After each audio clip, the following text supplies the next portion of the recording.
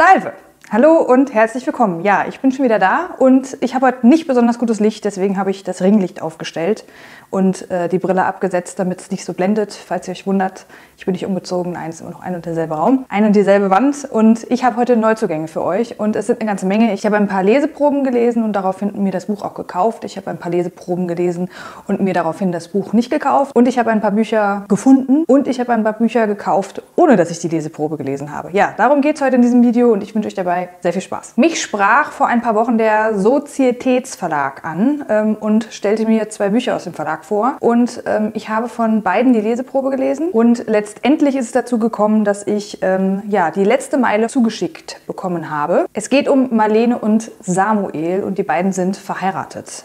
Ähm, Maria Knissel hat hier eine Geschichte geschrieben über Eltern, die ihr Kind verlieren und dass es tatsächlich keinen Namen für diese Gruppe von Menschen gibt. Es gibt Witwen, Witwen, es gibt Waisen, aber für Eltern, die ihre Kinder verlieren, gibt es tatsächlich keinen Namen. Wir begleiten die beiden dabei, wie sie sich nach diesem Tod von ihrem eigenen Kind auseinanderleben. Ist also ein bisschen ernstere Lektüre ähm, und es ist sehr melancholisch. Ich habe es schon gelesen und meine letztendliche Meinung dazu werde ich euch dann noch in meinem Lesemonat vom Oktober sagen. Ähm, ja, ich habe das Buch ziemlich schnell durchgelesen, kann ich sagen und ähm, ja, ihr dürft gespannt sein, wie ich dann das Buch fand. Das nächste Stück Literatur, über das ich mit euch sprechen möchte, ist Heimkehren von Ya Gyasi. Ich habe die Leseprobe gelesen. Es geht in dem Buch um grundsätzlich die Sklaverei. Es beginnt sehr früh im 18. Jahrhundert. Es geht um zwei Schwestern.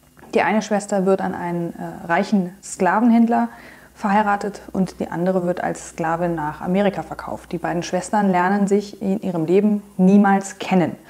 Das Buch schreibt über die Nachfahren dieser beiden Schwestern. Wir beginnen also in der Perspektive dieser Schwestern und nach und nach lernt man die Nachfahren kennen. Grundsätzlich ähm, finde ich dieses Thema total interessant, aber ich muss sagen, ähm, ich habe mir sehr schwer getan mit der Leseprobe. Ich weiß nicht warum. Ich fand den Erzählton irgendwie ein bisschen einfach. Es konnte mich nicht packen und leider ist dieses Buch nicht bei mir eingezogen. Nichtsdestotrotz finde ich das Thema total interessant. Also es ist ein Buch, was ich vielleicht auf jeden Fall noch lesen werde. Ich bin darauf gekommen durch die liebe Yvonne Lesen und so auf Instagram. Wir tauschen uns öfter mal aus über Bücher. Ich schätze ihren Buchgeschmack sehr. Sie arbeitet selber auch in einem Bereich mit Büchern und ich verlinke sie euch unten. Sie hat auch ein interessantes Instagram und ähm, dort könnt ihr vielleicht mal schauen. Sie hat es auf jeden Fall gelesen und mir empfohlen. Ich lege es erstmal auf den Vielleicht-Stapel. Dann las ich eine Leseprobe und ähm, die Autorin heißt Doris Dörre und das Buch heißt Leben, Schreiben, Atmen. Ist ein Buch aus dem Diogenes Verlag und kostet 18 Euro. Und ähm, gut, bei 18 Euro liest man halt vorher mal die Leseprobe.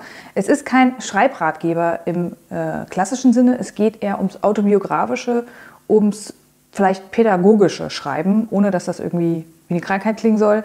Ähm, es geht so ein bisschen um Selbstfindung, um Wahrnehmung, um Erinnerungen aus dem Vergessenen wieder hochzuziehen. Und das Buch hat mir sehr, sehr gut gefallen und deswegen habe ich es mir gekauft. Es ist bei mir eingezogen.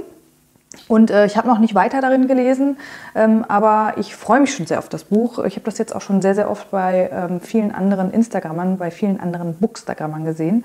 Und ähm, wie gesagt, es geht nicht darum, einen Roman zu schreiben, sondern für sich selbst zu schreiben, um ähm, vielleicht andere Dinge an sich zu entdecken oder auch mit Dingen abzuschließen um, und ja, schreiben so ein bisschen als Therapie. So würde ich es nennen. Und es soll natürlich dabei eins machen, es soll Spaß machen.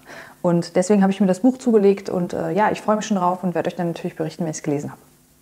Jetzt zeige ich euch ein Buch, ähm, wovon ich die Leseprobe nicht lesen konnte, ähm, weil ich es in Schottland in einem Bücherschrank mitten auf einem Dorf in der Nähe vom äh, Kilchurn Castle gefunden habe, was ich sehr, sehr merkwürdig finde. Und zwar, es geht nämlich um William Boyd, die Fotografin.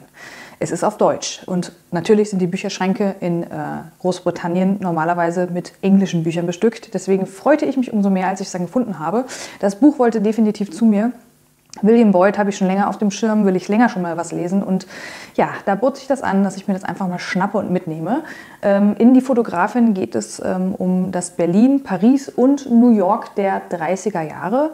Eine junge Heldin, die sich Amory Klein nennt, ist Fotografin und ähm, ja, nimmt ihr Schicksal selbst in die Hand. Ich glaube, es geht um so eine Art von Geschichte und ähm, William Boyd ist ja auch ein sehr literarischer Schreiber, so wie ich das ähm, beurteilen kann. In vielen Büchern, in denen es auch über Bücher geht, habe ich immer mal wieder seinen Namen gehört. Es wäre dann also auch mein erstes Buch von ihm. Und ich habe ganz viel Lust auf das Buch und es kann sein, dass ihr das schon in den nächsten Lesemonaten bei mir sehen werdet.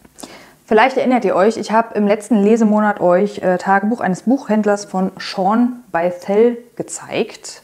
In den Neuzugängen hatte ich es euch auch schon mal vorgestellt. Ähm, er hat über ein Buch in seinem Buch gesprochen und da werde ich immer hellhörig, weil ähm, es gibt Menschen, die lesen sehr viel, deren Berufung sind Bücher und wenn die ein Buch empfehlen, dann ja, interessiert mich das immer sehr. Er sagte über ein bestimmtes Buch, es hätte ihn aufgesaugt und ausgespuckt. Zumal der Titel sehr interessant klingt. Es ist nämlich Die Stadt der Blinden von José Saramago. Und ich habe die äh, Leseprobe ziemlich schnell in einem Rutsch durchgelesen und ich mache kein großes Geheimnis draus. Es ist bei mir eingezogen. Ähm, bei dem Buch ist mir bei der Leseprobe zuerst aufgefallen, dass es ein einfacher, zugänglicher, unmittelbarer Schreibstil ist. Also ohne viel Schnörkel. Ähm, er erzählt die Geschichte einfach so, wie es ist. Und es geht am Anfang um einen Mann, der plötzlich von jetzt auf gleich erblindet. Ein anderer Passant bringt ihn dann nach Hause und ähm, fragt ihn noch, ob er zusammen mit ihm auf seine Frau warten soll oder ob er zurechtkommt. Und das war dem ähm, gerade Erblindeten dann doch etwas irgendwie suspekt und hat ihn dann weggeschickt. Und später merkte er dann, dass seine Autoschlüssel fehlen. Und das merkte er dann zusammen mit seiner Frau. Und erstmal ähm, reagieren die Menschen jetzt so, wie es normal wäre. Man geht nämlich zum Arzt und guckt, was mit den Augen passiert ist.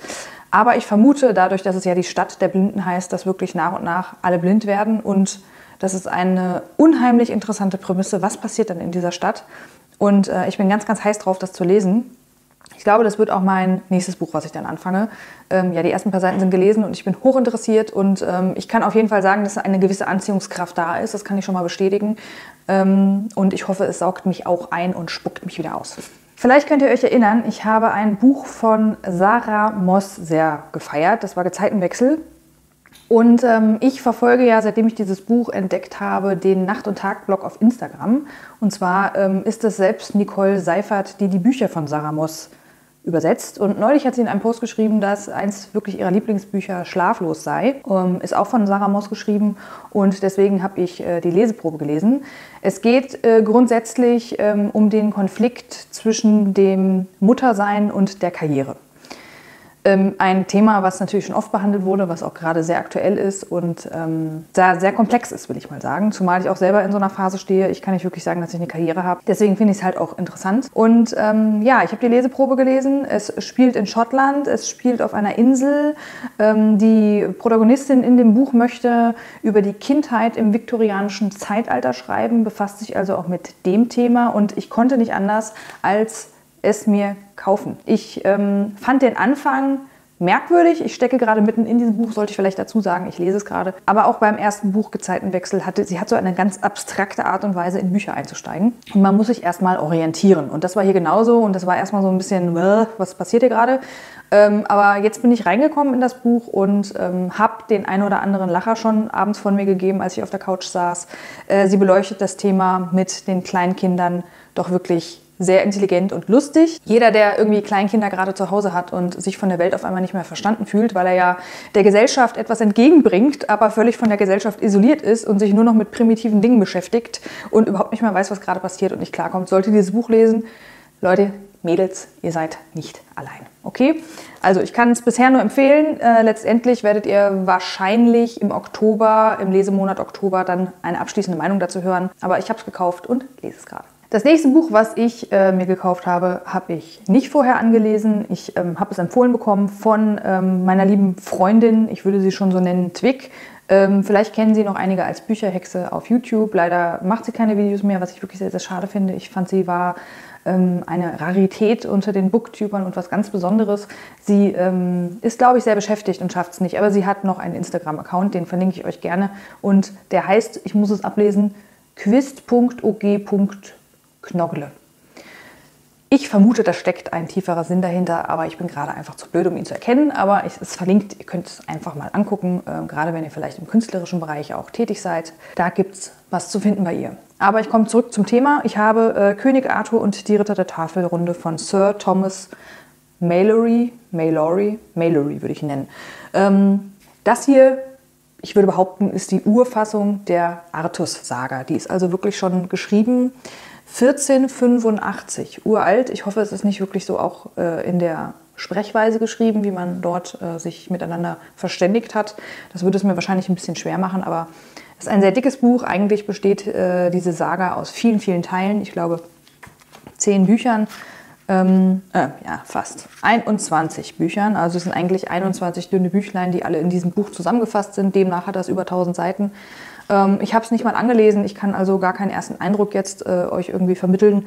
Aber was für mich schon seit langer, langer Zeit feststand, ähm, seit ich die Nebel von Avalon gelesen habe, die ich nicht bis zum Ende gelesen habe, weil ich es ein bisschen komisch fand, ist, dass ich irgendwie irgendwo nochmal eine, eine Artus-Saga lesen muss, um mir ein Bild von dieser Saga zu machen. Ich bin ja Fan von solchen Geschichten und ähm, zur Grundausbildung gehört dann einfach eine vernünftige Artus-Saga, habe ich mir überlegt. Als nächstes fasse ich drei englische Lektüren zusammen, von denen ich nicht genau weiß, ähm, ob sie auf Deutsch übersetzt sind. Ihr dürft gerne in die Infobox schauen. Ähm, ob das so ist, die würde ich dann einfach mit verlinken. Ich fange mal ein bisschen lahmer an.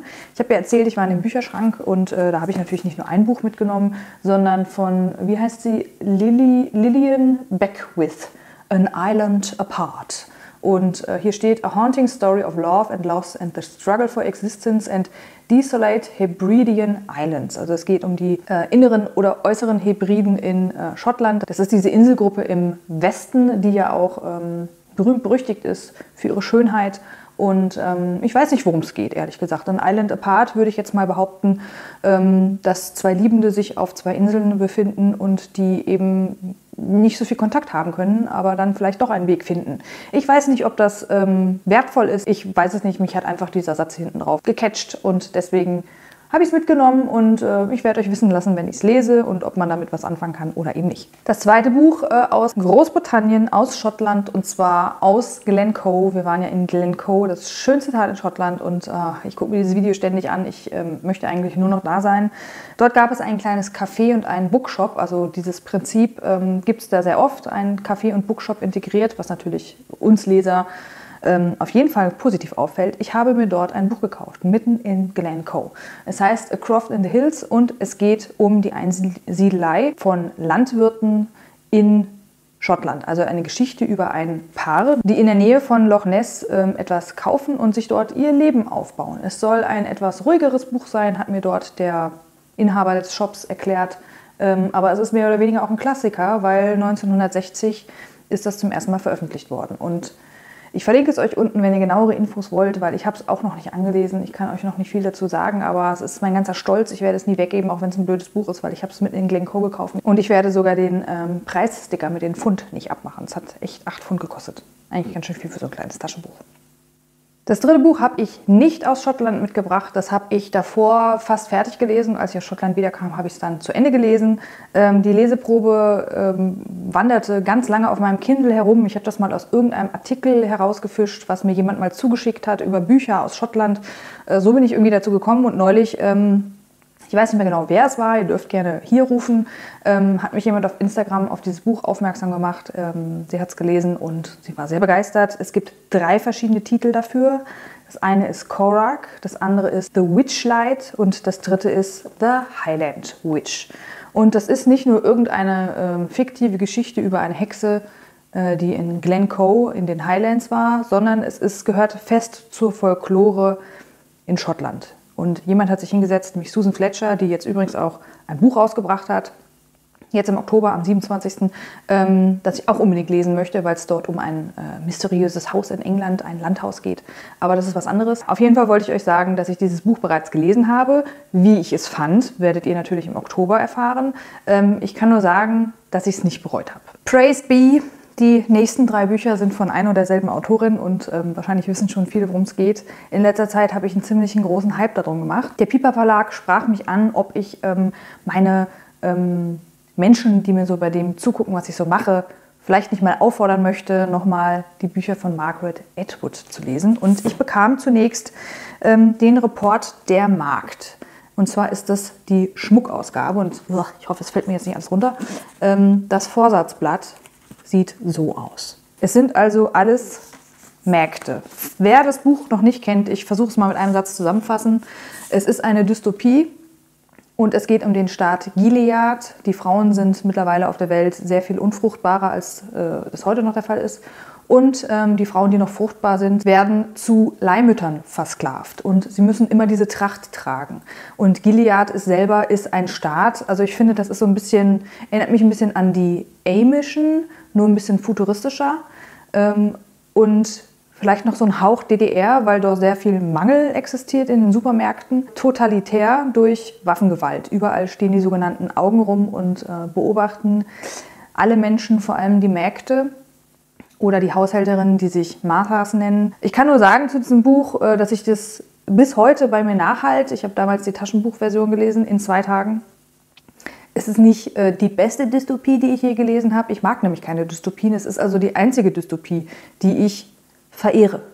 Also ich finde das, was Margaret Atwood dort mit wenig Aufwand konstruiert hat, mit ganz einfachen Dingen, aber so eindringlich und so beklemmend, ist großartig. Ja, und dieses Buch wurde bereits, ich glaube, in den 80ern geschrieben.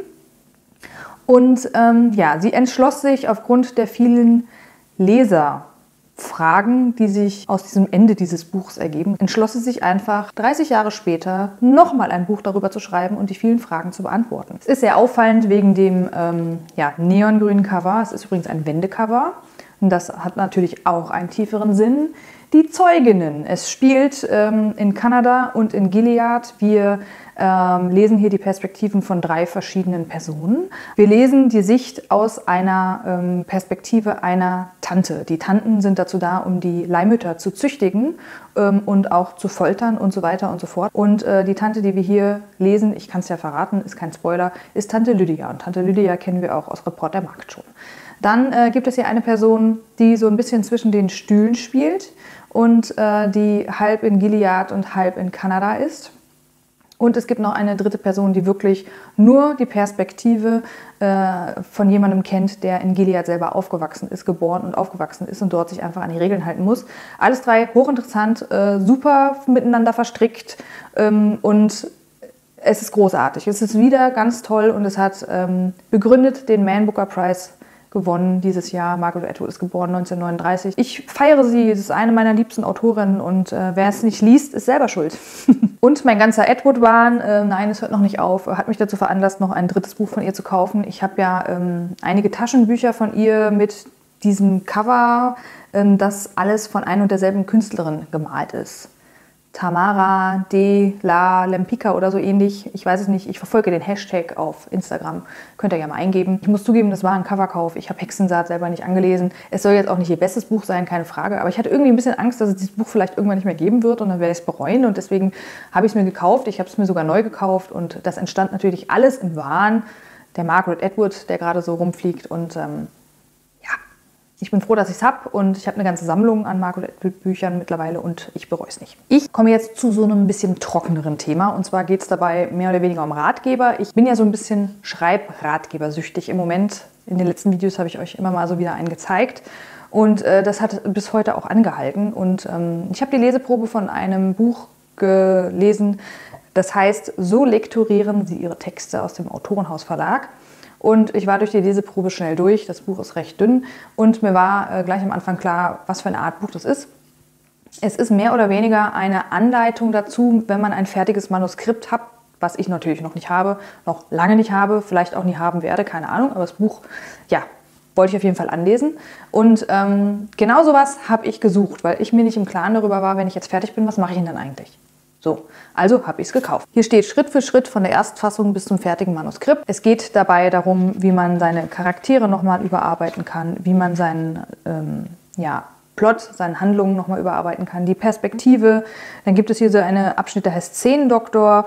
Ähm, da geht es wahrscheinlich darum, um zu kürzen und noch viele, viele andere. Ob das Buch mir im Endeffekt was bringt, kann ich natürlich erst beurteilen, wenn ich es anwende. Ich kann nur sagen, dass ich ähm, so wie es aufgemacht ist und dass es mehr oder weniger ein Leitfaden für die Überarbeitung ist. Das fand ich sehr gut und deswegen habe ich es mir zugelegt. Und äh, viele Bücher aus dem Autorenhausverlag ähm, werden auch gar nicht mehr aufgelegt. Deswegen bin ich da gerade auch so ein bisschen hinterher, dass ich die auch noch bekommen kann. Ist natürlich auch Gebrauch gekauft. Ja, deswegen ist das bei mir eingezogen. Dann verfolge ich schon länger einen Kanal auf YouTube von Julia Stein. Und zwar ist sie selber Autorin und sie hat es so ein bisschen sich zur Berufung gemacht, ähm, andere Autoren oder die, die es vielleicht mal irgendwie werden möchten, ähm, ein bisschen anzuleiten und hat ähm, sehr viele Tipps und Tricks. Und unter anderem ähm, auf ihrem Blog gibt es eben auch eine Sparte mit ja, Schreibratgebern, die sie empfiehlt. Und ähm, dieser hier war auch dabei. Das ist ähm, Anne Lamott Bird by Bird. Es ist kein Schreibratgeber im eigentlichen Sinne. Hier steht, es ist ein Guide, äh, der dich durch die Welt der Schreiber, der Autoren führt und es soll halt auch lustig sein und motivierend und soll viel Gutes drinstehen. Ich habe von dem Buch schon öfter gehört und ähm, ja, deswegen ist es bei mir eingezogen. Ähm, ich habe es nicht angelesen tatsächlich. Ich habe die Leseprobe nicht gelesen, ähm, weil ich auch hier wieder Angst hatte, dass ich das nicht mehr bekomme, weil es eben auch schon älter ist. Ich glaube aus den 90ern. Und gerade diese ganzen Schreibratgeber aus den 90ern, die mich irgendwie am meisten catchen, die gibt es nicht mehr so oft. Und deswegen war ich da jetzt sehr schnell hinterher, dass ich es mir einfach zuschicken lassen habe und ist natürlich auch gebraucht. Hat, glaube ich, 5 Euro gekostet. Und jetzt ist es bei mir.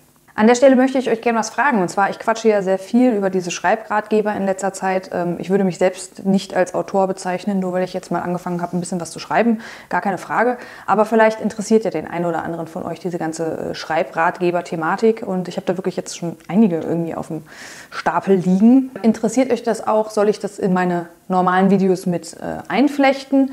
Oder möchtet ihr sogar ein separates Video haben, äh, wo ich die euch alle mal vorstelle, welche die ich schon gelesen habe, die ich gut finde, welche die ich noch nicht gelesen habe, äh, aber mir davon irgendwie was verspreche, sagt es mir mal in den Kommentaren, dann weiß ich Bescheid, inwiefern das Thema bei euch irgendwie auf Interesse stößt. Ja, und kann äh, eventuell dazu dann noch ein kleines Video basteln. Und apropos Schreibratgeber, im letzten Monat habe ich euch ähm, den Sol Stein über das Schreiben in die Kamera gehalten und der zitierte immer wieder aus einem bestimmten Buch und diese Auszüge haben mir so gut gefallen, dass ich äh, die Leseprobe gelesen habe. Ich habe euch das auf Instagram auch öfter gezeigt, dem einen oder anderen würde es also jetzt auch bekannt vorkommen. Sie war alt und ging gebückt, als wollte sie sich selber in zwei brechen, hätte jedoch nicht die Kraft dazu.